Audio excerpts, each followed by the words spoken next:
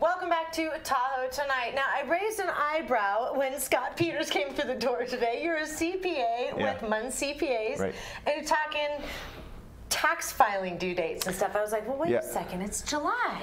Yeah, well, it says uh, if you've extended your tax Uh-huh. returns, either a business or individual, uh, then it's it's starting to come ra- back around. So the uh, September 15th is the uh, filing deadline for business extensions.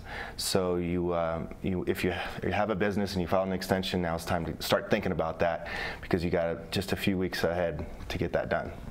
That's not really a fun thought this No. time of year. huh? I mean, know. I like, like, it's a- I'm sorry to bring you down. You know, it's just something you you, gotta, gotta do it. You gotta do it. Yep. do it. Exactly. Yep. So how can how can businesses plan for minimizing some of this burden? You know, now that it's having to, if you filed an extension, you have to revisit it. So yeah, so um, um, basically for 2016, you're this is you're extending. You're going to file by September 15th for your 16 tax return. There's not a whole lot you can do at this point because most people are tax ba- uh, cash basis taxpayers. So you have to do your planning before the year ends. So the tax planning comes into play now for your 2017 tax return. So if you own a business and you have multiple, um, you know, you have options there. You have a lot more uh, ability to minimize your tax burden if you're plan ahead.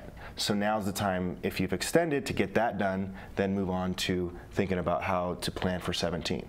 So a lot of businesses can take Section 179 on assets they need to purchase if they have income that they might show at the end of the year. They want to eliminate that so there's no tax burden.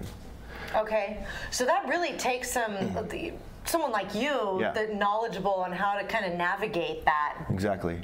Pathway. If you Yeah, will. so if you uh, you know if you're a small business just starting out, or you've been in business for for many years, you're just always playing catch up. You you know you get with the CPA, maybe you already have one or you need one.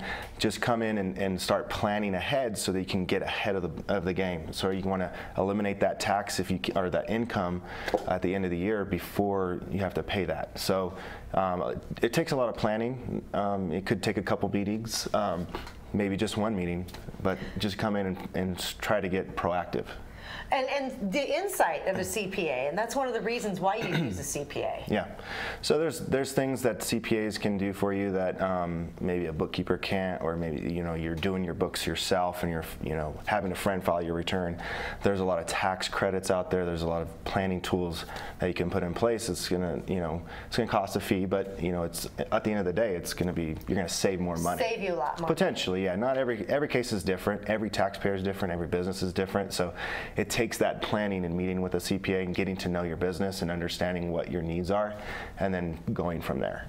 Do you really ramp up? Do you do a lot of people extend? Uh, are you getting busy right now? Like super Uh, yeah, so so we do um, do do a lot of extensions. It's typically people uh, that have flow through entities that extend because they might get a K1 from a business they're an investor in or they're an owner in, and those businesses extend their returns because it takes them a lot longer to get their stuff in. So we have to wait for those K1s to come through before we file their individual returns. So we also have a ton of uh, business extensions we're getting geared up to do, and then October 15th is the extension for individuals.